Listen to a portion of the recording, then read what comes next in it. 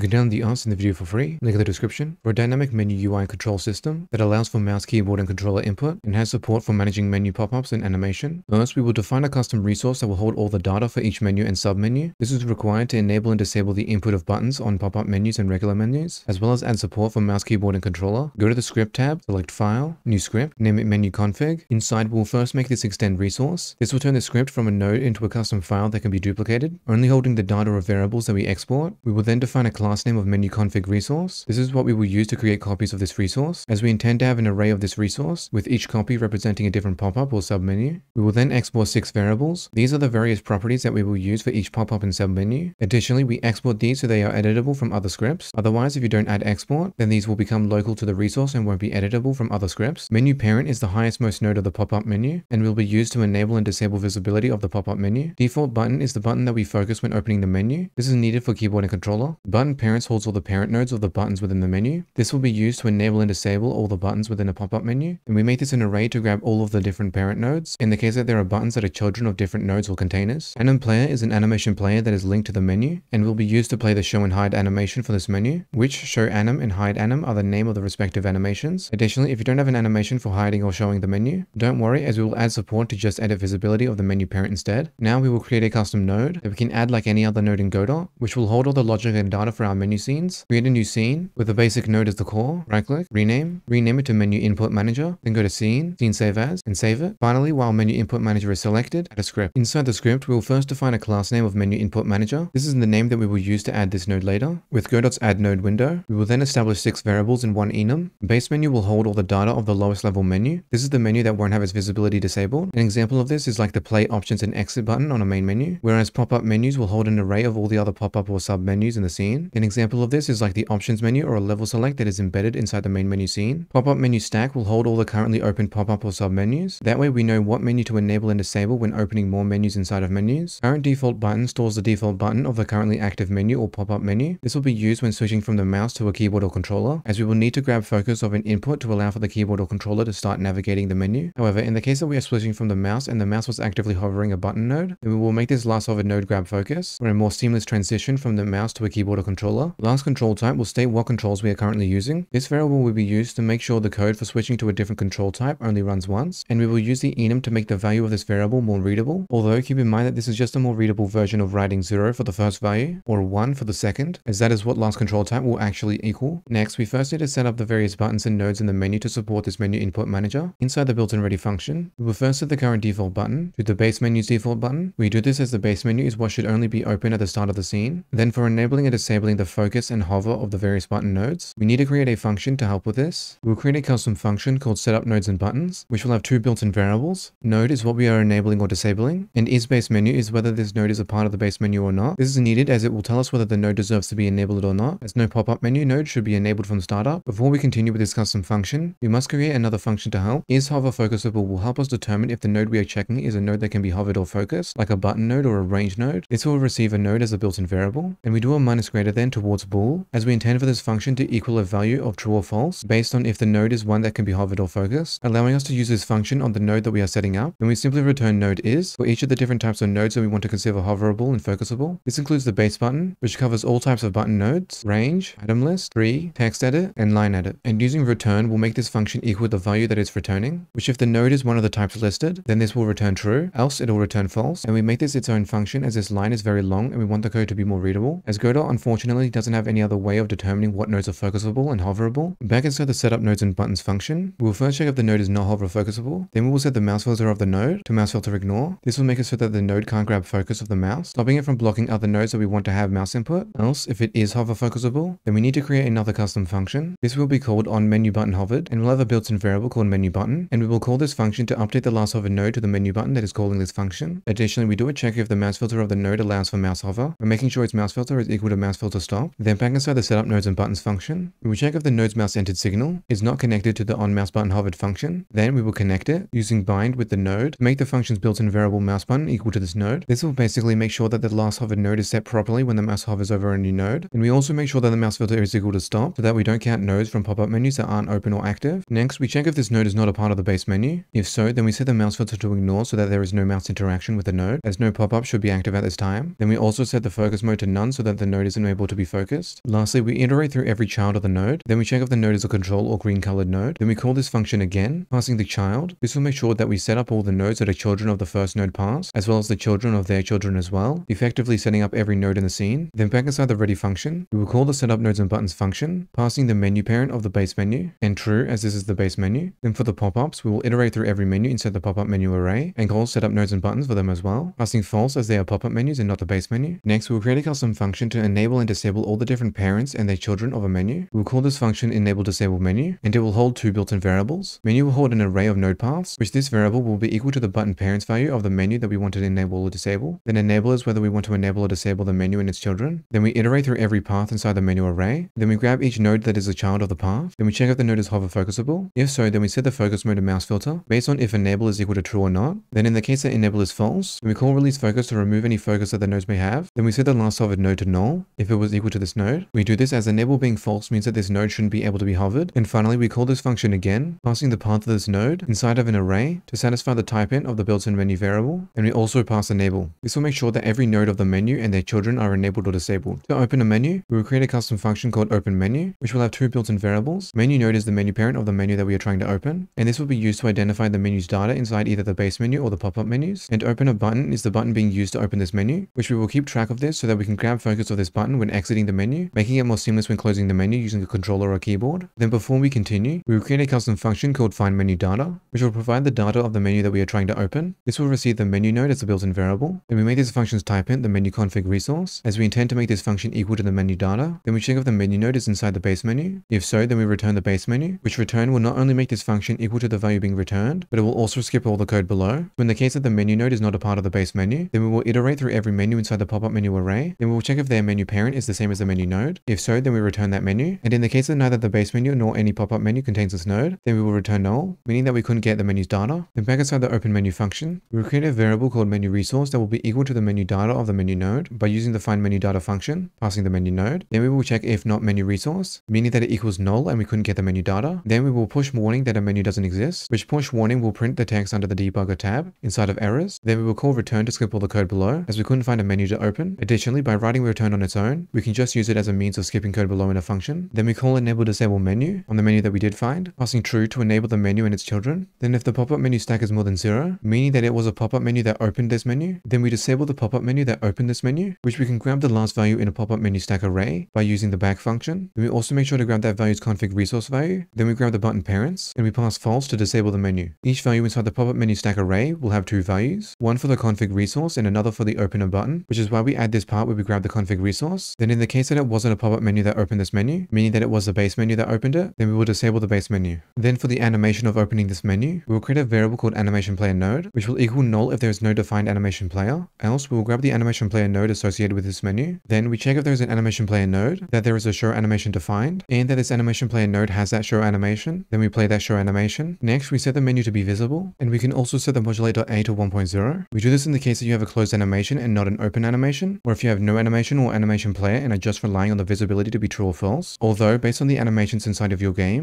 if they happen to use modulate.a inside of the animation, then remove this line, but the visibility line should be fine to keep. Then for the pop-up menu stack, we'll add a dictionary value using append, which append will add the value to the end of the array. This will hold the menu data of the new menu, and it's opener button. This is what I meant earlier by the value of the pop-up menu stack having two values inside, and why we needed to grab the config resource explicitly. Finally, we set the current default button to the default button of this menu, and if we are using focus input, then we will grab focus of that new default button. Now to close the menu that we have opened, we'll create a custom function called close menu. Inside, we'll define three variables to make the code cleaner and easier to read. Menu being closed will equal the last value of the pop-up menu stack array, which we use pop back instead of the back function, as pop back will not only provide the last value in the array, but it will also remove that value right after. Closing menu resource will equal the menu data or config resource of the menu being closed, and closing menu opener button will equal the opener button that opened the menu that we are closing. Then we will disable this closing menu, passing the button parents of the closing menu resource, and false to disable the menu. Therefore, animating this menu closing, we'll create a variable like before, which will equal null if there is no animation player defined, else it will equal the assigned animation player. Then we check if there is an animation player, that there is a hide animation defined, and that the animation player has the hide animation. Then we play that animation, else we set the menu that we are closing to be invisible. We use else as we don't want to interfere with any animation that exists, whereas with opening a menu, setting it to be visible will have no impact on the animation, so we didn't bother putting it in an else like this. Then for the new menu that we will enable, which is the menu before the one that is being closed, we create a variable called current config, which will equal the menu that we will want to enable. Then we check if the pop-up stack is more than zero, meaning that there is a pop-up menu opened. This is why we did pop back, so that this closing menu isn't considered here. Then we set the current config to the last pop-up menu in the array. Else, if there are no pop-up menus open, then we will just set the current config to the base menu. Then we will call the enable disable menu function, passing the current config, and true to enable the menu. Finally, we set the current default button to the default button of the config menu, and we will set the last hovered node as well, to ensure that the last hovered node isn't equal to a node from the closing menu. Then we will check if we are using focus input. If so, then we check if there is an opener button, and grab focus of that if there is. Else, we will just grab focus of the default button. Grabbing focus of the opener button will make us so that if we press an options button to open the options menu, then when closing that options menu, the options button will be selected, making a seamless transition between menus. Now for the input of the menus and their buttons, as well as deciding between hover input and focus input, inside the built-in input function, which will pass what type of input is occurring with the event built-in variable. For the focus input, we will check if the event is either the input event key, meaning the key on the keyboard, or an input event joypad button, meaning a button on the controller, or an input event joypad motion, meaning a joystick on the controller. Then we will check if the last control type is not the focus input, meaning that we need to initiate the focus input. For this, we'll make the mouse cursor are hidden so that it doesn't get in the way of the game visually. Then we will call get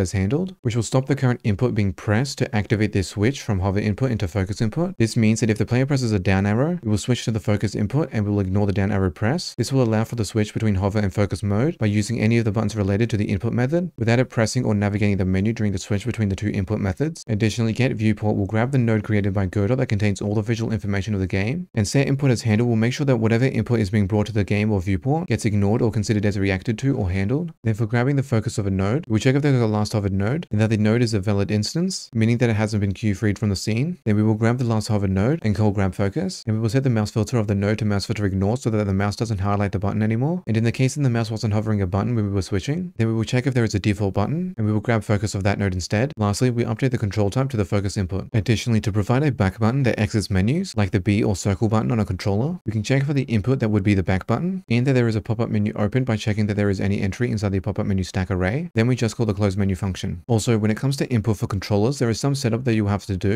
Go to project, project settings, under input map, enable show built-in actions. We must do this as for focus nodes. Godot will use input like UI left, UI right, UI up, and UI down to navigate. But if you want to add input for navigation, like adding WASD, then press the plus next to the input name, type or find the key, then press OK.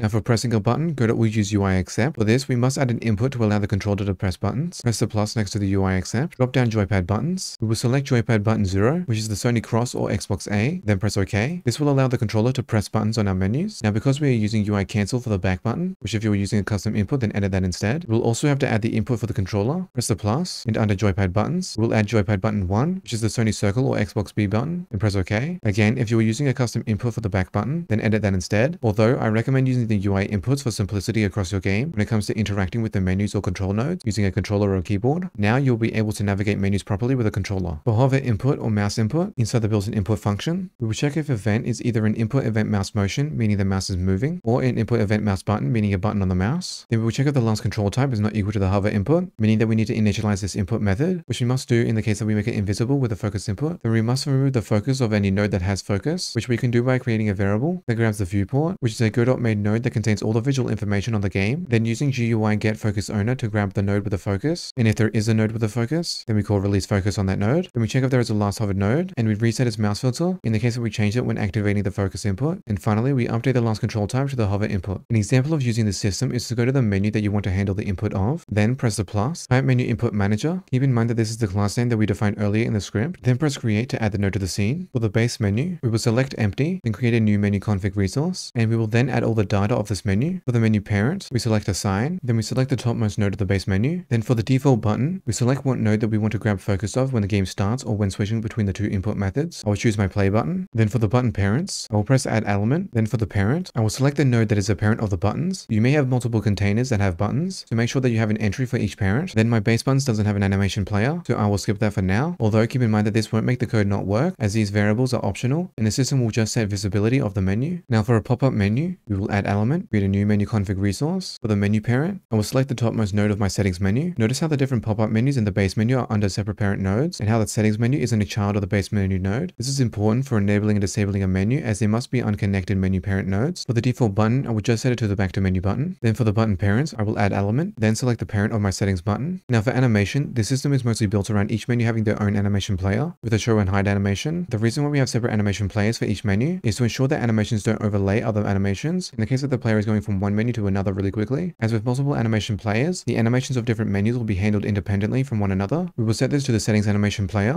Then for the show animation and hide animation, we will then set the show and hide animations properly, typing the name correctly. Make sure that the letters are capitalized if the animation name is capitalized letters. You can also see that my animation is very simple, just changing the modulate and position. Additionally, if you have a show animation and no hide animation, or if you have a hide animation and no show animation, don't worry as the system will not error if there is animation missing, as the system will just set the visibility to true or false based on if we are closing or opening the menu. Now for a pop-up menu that appears within the options menu, create a new element in the pop-up menu's export variable, create a new menu config resource. And again, like the options menu, make sure its menu parent node is not a child of the options menu or any other menu. Then we will set it to the options one node. For the default button, I will just set it to the exit node. Then from the menu parents, I will add element and I will set it to the options one node as that is the parent of the button nodes. And this pop-up menu doesn't have any animation player, so I will ignore those variables. Now to have buttons open and close various menus, select the button that you want to open a menu, then go to node, signals, right click the press signal, press connect, and select a script within your game. Do not select the menu input manager and do not connect anything to that node as we want the node to remain independent from any other node or scene within our game, then press connect. Then inside the script for opening a menu, we'll grab the menu input manager node, then call the open menu function, passing the button parent node, which is the settings node, then passing the node that we want to focus when exiting the options menu, which is the options button that we used to open the options menu in the first place. Now for closing a menu, select the node that you want to close the menu, then go to node, signals, right click the press signal, press connect. Again, do not connect this node to the menu input manager and select any other script, then press connect. We can then just grab the menu input manager and call the close menu function. And finally, for opening up a pop-up menu that is inside of a pop-up menu. Select the button that you want to open that menu, then go to Node, Signals, right-click the press signal, press Connect, and again, do not connect it to the menu input manager, then press Connect. Then inside the script, we'll do the exact same as when opening a menu, grabbing the menu input manager node, then calling open menu function, passing the button parent node, which is the options one node, or the topmost node of the pop-up menu that I'm trying to open, then passing the node that we want to focus when exiting this pop-up menu, which is the settings button that we use to open up this pop-up menu. And for closing that pop-up menu that is inside of a pop-up menu, select the node that you want to close that menu, then go to Node, Signals, right-click the press signal, press connect, don't connect it to the menu input manager and press connect. Then inside the script, just grab the menu input manager and call the close menu function.